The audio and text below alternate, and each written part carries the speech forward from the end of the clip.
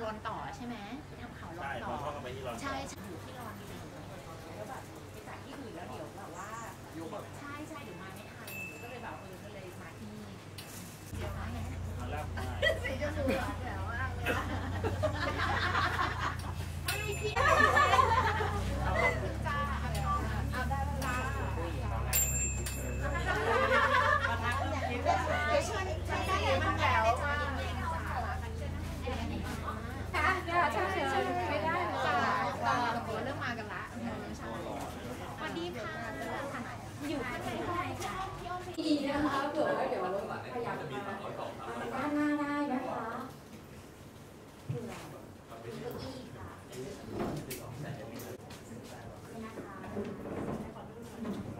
สวัสดีนะคะ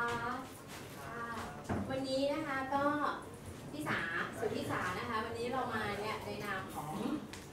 วันนี้เนี่ยนอกเหนือจากการเป็นนักเทนนิสขวัญใจชาวไทยแล้วเนี่ย วันนี้แทมารีเนี่ยเขา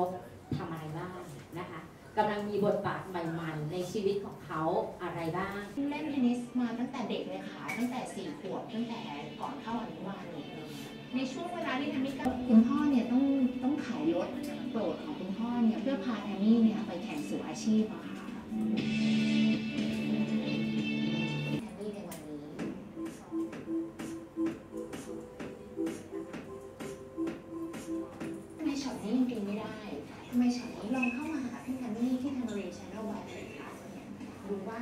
เทนนิสยังมีช่วง body and mind ก็คือเรื่ององค์ประกอบสิ่งสำคัญที่จะให้น้องเข้าถึงทางด้านการเป็นนักกีฬาอาชีพก็คือ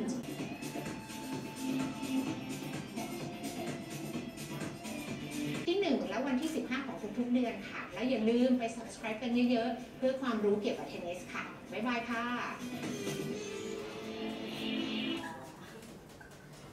นะคะแทมมี่ออกมาพูดถึง ในเรื่องของบทบาทของตัวเองนะวันนี้นะคะ เชิญค่ะคุณแทนนี่ค่ะสวัสดีพี่พี่ๆอยากให้ให้วงการเทนนิสเนี่ยมีมีคนเล่นมากขึ้นเพราะอย่างที่รู้ตอนนี้ก็ก็ค่อนข้างซบเซาไปนิดนึงอะไรอย่างเงี้ยก็เลยมีโครงการดีๆว่าเราอยากจะสนับสนุน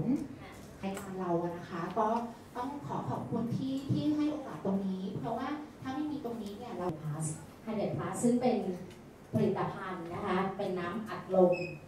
แล้ว ก็เลยสนับสนุนติดอะไรอย่างเดียวเนี่ยเราจะมีสามช่วงเลย ก็คือช่วงแรกก็จะพูดถึงเทคนิคเทนนิสว่าเทนนิสเอ่อเทคนิคเทนนิสเนี่ยมีประโยชน์ยังไงกับน้องๆด้วยคือใช้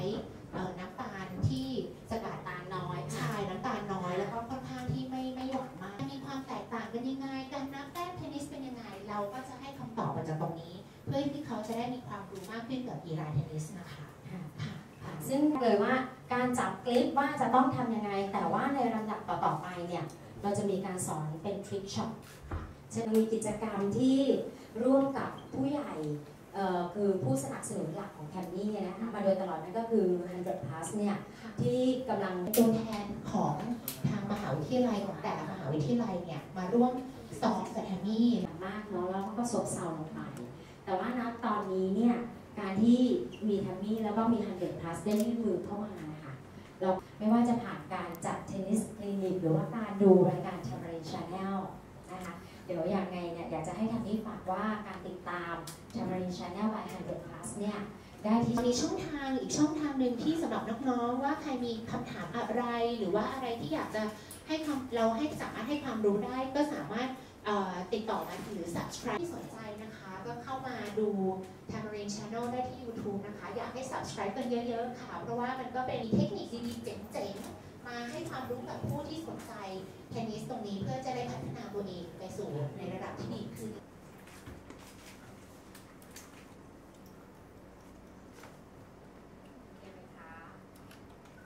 เรียบร้อยหรือยังคะ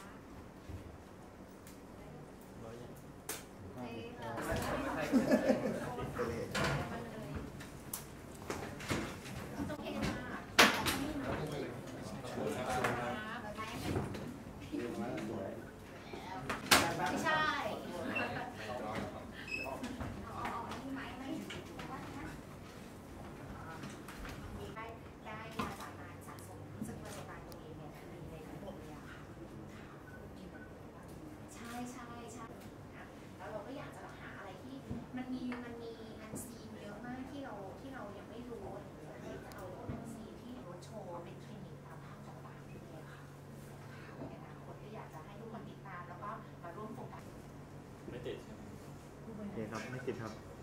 เครับไม่ติดครับพร้อมครับสามสอง